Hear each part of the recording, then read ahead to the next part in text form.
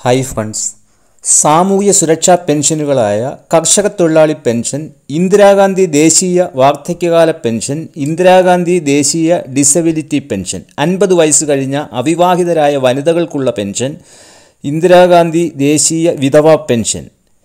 ഗുണഭോക്താക്കൾ രണ്ടായിരത്തി പത്തൊമ്പത് ഡിസംബർ മുപ്പത്തി ഒന്നിന് മുൻപ് മുതൽ പെൻഷൻ വാങ്ങിക്കൊണ്ടിരിക്കുന്നവരാണ് എങ്കിൽ അങ്ങനെയുള്ളവർ രണ്ടായിരത്തി ഇരുപത്തിരണ്ട് സെപ്റ്റംബർ ഒന്ന് മുതൽ രണ്ടായിരത്തി ഇരുപത്തി മൂന്ന് ഫെബ്രുവരി ഇരുപത്തിയെട്ടിനുള്ളിൽ വീണ്ടും ഒരു വരുമാന സർട്ടിഫിക്കറ്റ് കൂടി സമർപ്പിക്കണം എന്ന് ഗവൺമെന്റ് ഉത്തരവ് പുറപ്പെടുവിച്ചിരുന്നു. അനർഹരായ നിരവധി ആളുകൾ ഈ പെൻഷൻ പട്ടികയിൽ കടന്നുകൂടിയിട്ടുണ്ട് എന്ന വിദഗ്ധ സമിതിയുടെ റിപ്പോർട്ടിന്റെ അടിസ്ഥാനത്തിലായിരുന്നു ഇങ്ങനെ ഒരു തീരുമാനം. ഗവൺമെന്റ് കൈക്കൊണ്ടത്. സാമൂഹ്യ സുരക്ഷാ പെൻഷനുകൾ ലഭിക്കണമെങ്കിൽ അവരുടെ കുടുംബ വാർഷിക വരുമാനം ഒരു ലക്ഷം രൂപയിൽ കവിയുവാൻ പാടില്ല എന്ന ഉള്ള മാനദണ്ഡം പാലിക്കാതെ നിരവധി പേർ ഇപ്പോഴും ഈ പെൻഷൻ പദ്ധതിയിൽ അംഗങ്ങളാണ്. അങ്ങനെയുള്ളവരെ പരമാവധി കണ്ടുപിടിച്ച് ഈ പെൻഷൻ പദ്ധതിയിൽ നിന്നും പുറത്താക്കുക എന്ന ലക്ഷ്യമായിരുന്നു ഇതിന്റെ പിന്നിൽ. പെൻഷൻ രണ്ടായിരത്തി ഇരുപത്തി മൂന്ന് മാർച്ച് മാസം മുതൽ വീണ്ടും ലഭിക്കണമെങ്കിൽ രണ്ടായിരത്തി ഇരുപത്തി മൂന്ന് ഫെബ്രുവരി ഇരുപത്തിയെട്ടിന് മുൻപേ ഈ വരുമാന സർട്ടിഫിക്കറ്റ് സമർപ്പിക്കേണ്ടതാണ്. ഇന്നത്തെ വീഡിയോയിൽ ഞാൻ പറയുവാൻ പോകുന്നത് നിങ്ങൾ വരുമാന സർട്ടിഫിക്കറ്റ് ഇതിനോടകം നിങ്ങളുടെ തദ്ദേശ സ്വയംഭരണ സ്ഥാപനമായ പഞ്ചായത്ത് മുനിസിപ്പാലിറ്റി അല്ലെങ്കിൽ കോർപ്പറേഷൻ ഓഫീസുകളിൽ നൽകിയിട്ടുണ്ടെങ്കിൽ അത് എന്നാണ് നൽകിയത്? വരുമാന സർട്ടിഫിക്കറ്റ് നൽകിയിട്ടുണ്ടോ എന്ന് നിങ്ങൾക്ക് സേവനയുടെ വെബ്സൈറ്റിലൂടെ മനസ്സിലാക്കാവുന്നതാണ്. അതുപോലെ നിങ്ങളുടെ വരുമാന സർട്ടിഫിക്കറ്റിൽ എത്ര രൂപയാണ് രേഖപ്പെടുത്തിയിരിക്കുന്നത് എന്നും ഇവിടെ നിങ്ങൾക്ക് പരിശോധിക്കാവുന്നതാണ്. ഫെബ്രുവരി ഇരുപത്തിയെട്ടിന് മുൻപ് ഈ വരുമാന സർട്ടിഫിക്കറ്റ് നൽകിയിട്ടില്ല എങ്കിൽ തുടർന്ന് നിങ്ങൾക്ക് പെൻഷൻ ലഭിക്കുന്നതല്ല. ഇതിന്റെ സ്റ്റാറ്റസ് എങ്ങനെ മനസ്സിലാക്കാമെന്നാണ് ഇന്ന് ഈ വീഡിയോയിൽ ഞാൻ പറയുവാൻ പോകുന്നത്. അതിന് നിങ്ങൾ ചെയ്യേണ്ടത് കേരള ഗവൺമെന്റിന്റെ സാമൂഹ്യ സുരക്ഷാ പെൻഷന്റെ വെബ്സൈറ്റായ W W W dot welfare pension dot L S T Kerala dot G O V dot in എന്ന സൈറ്റ് ഓപ്പൺ ആക്കുക.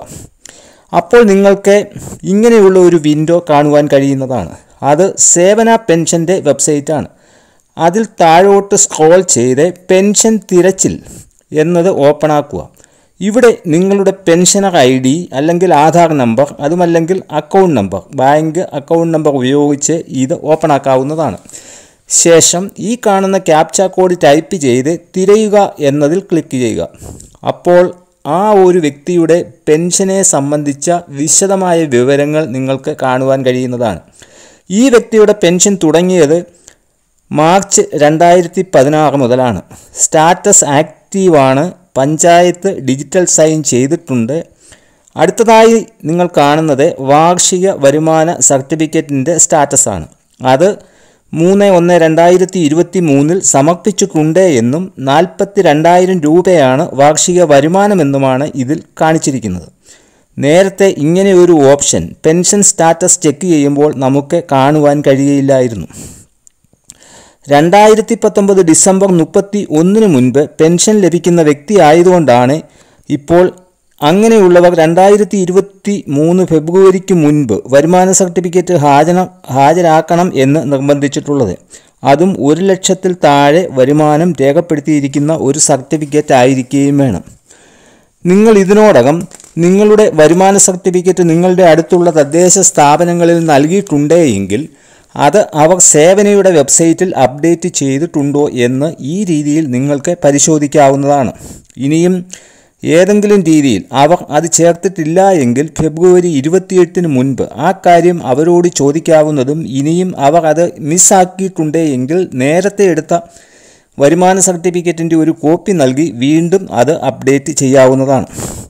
അതുപോലെ ഇപ്പോൾ വരുമാന സർട്ടിഫിക്കറ്റിന് അപേക്ഷിച്ച് അത് ലഭിച്ചിട്ടുള്ളവരുടെ വരുമാനം ഒരു ലക്ഷം രൂപയിൽ കൂടുതലാണ് എങ്കിൽ നിങ്ങൾക്ക് വീണ്ടും അർഹതയുണ്ട് എങ്കിൽ ഒന്നുകൂടി വരുമാന സർട്ടിഫിക്കറ്റിന് അപേക്ഷിക്കാവുന്നതാണ്. എന്നാൽ അപ്പോൾ അപേക്ഷിക്കുമ്പോൾ നിങ്ങളുടെ ശരിയായ വരുമാനം ഇത്രയേ ഉള്ളൂ എന്ന് നിങ്ങൾ സ്വയം മലയാളത്തിൽ തയ്യാറാക്കി വെള്ളപ്പേപ്പറിൽ ഒരു സാക്ഷ്യപത്രം കൂടി അതിൽ നിർബന്ധമായും അപ്ലോഡ് ചെയ്തിരിക്കണം. വരുമാന സർട്ടിഫിക്കറ്റിന് അപേക്ഷിക്കുമ്പോൾ അങ്ങനെ ഒരു സാക്ഷ്യപത്രം കൂടി അതിൽ അപ്ലോഡ് ചെയ്യുവാനുള്ള ഓപ്ഷൻ ഉണ്ട്. നിങ്ങൾ അക്ഷയ വഴിയാണ് അപേക്ഷിക്കുന്നത് എങ്കിൽ ഈ സാക്ഷ്യപത്രം കൂടി അപ്ലോഡ് ചെയ്യുവാൻ അവരോട് പറയേണ്ടതാണ്. സാക്ഷ്യപത്രത്തിൽ ഇപ്പോഴത്തെ നിങ്ങളുടെ വരുമാന സ്രോതസ് ഇത്രയും മാത്രമേ ഉള്ളൂ എന്ന് വ്യക്തമായി രേഖപ്പെടുത്തുക. നേരത്തെ അപേക്ഷിച്ചിരുന്ന കാര്യമൊന്നും അതിൽ രേഖപ്പെടുത്തേണ്ട ആവശ്യമില്ല. വരുമാനത്തിന്റെ അടിസ്ഥാനത്തിൽ ഒരു ലക്ഷം രൂപയിൽ കൂടുതൽ വാർഷിക വരുമാനം ലഭിച്ച വരുമാന സർട്ടിഫിക്കറ്റ് ലഭിച്ചവർ ഇക്കാര്യം ഓർത്തു വെച്ചുകൊണ്ട് നിങ്ങളുടെ നിജസ്ഥിതി അവരെ ബോധ്യപ്പെടുത്തുന്നതിനു വേണ്ടി ഒരു സത്യപ്രസ്താവന മലയാളത്തിൽ എഴുതി അതുകൂടി അപ്ലോഡ് ചെയ്യുക. ഇപ്പോൾ പത്രമാധ്യമങ്ങളിൽ സാമൂഹ്യ സുരക്ഷാ പെൻഷനു വേണ്ടി വ്യാജ വരുമാന സർട്ടിഫിക്കറ്റുകൾ ഉണ്ടാക്കി അത് പഞ്ചായത്തിൽ സമർപ്പിച്ച് അധികൃതരെ കബളിപ്പിക്കുന്നു എന്നുള്ള വാർത്ത വന്നുകൊണ്ടിരിക്കുകയാണ്. ആരും ഇതുപോലെയുള്ള വ്യാജ വരുമാന സർട്ടിഫിക്കറ്റുകളുടെ പുറകെ പോകാതെ നിങ്ങൾക്ക് അർഹതപ്പെട്ടിട്ടുണ്ട് എങ്കിൽ നേരായ വഴി തന്നെ ഈ സർട്ടിഫിക്കറ്റിന് അപേക്ഷിച്ച് ഫെബ്രുവരി ഇരുപത്തിയെട്ടിന് മുൻപ് തന്നെ പഞ്ചായത്തിൽ നൽകുവാൻ എല്ലാവരും ശ്രദ്ധിക്കേണ്ടതാണ്.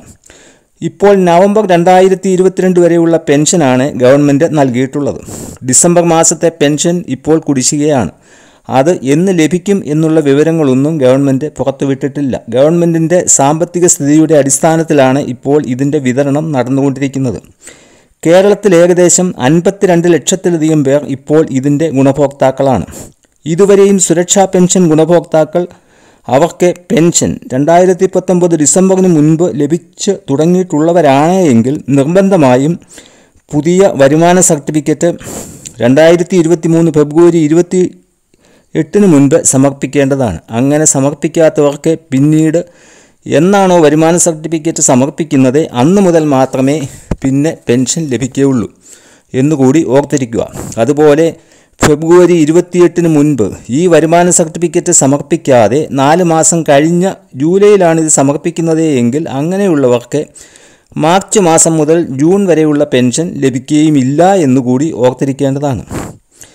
പെൻഷൻ വാങ്ങിച്ചുകൊണ്ടിരിക്കുന്ന ഗുണഭോക്താക്കൾ. ഈ കാര്യം ഓർത്തു വയ്ക്കേണ്ടതും വെബ്സൈറ്റിൽ നിങ്ങളുടെ സ്റ്റാറ്റസ് ചെക്ക് ചെയ്ത് തകരാറുകൾ ഇല്ല എന്ന് ഉറപ്പുവരുത്തേണ്ടതുമാണ് നിങ്ങളുടെ സ്റ്റാറ്റസ് ചെക്ക് ചെയ്യുവാനുള്ള ലിങ്ക് ഈ വീഡിയോയുടെ താഴെ ഞാൻ കൊടുക്കുന്നതാണ്. നിങ്ങളുടെ ആധാർ അല്ലെങ്കിൽ പേഴ്സണൽ പെൻഷൻ ഐ ഡി അതുമല്ലെങ്കിൽ ബാങ്ക് അക്കൗണ്ട് നമ്പർ എന്നിവ ഉപയോഗിച്ച് ഇത് പരിശോധിക്കാവുന്നതാണ്. ഇതുപോലെയുള്ള വീഡിയോകൾ ഇനിയും ലഭിക്കുവാൻ ഇതുവരെയും ഈ ചാ